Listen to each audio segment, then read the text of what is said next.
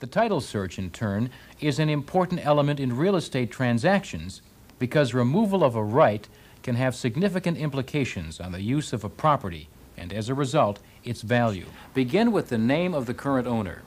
Suppose you have the name of Arthur G. Klein, the present owner of the property you're searching. Since Arthur Klein was the last grantee of the property, start your search with the grantee's index.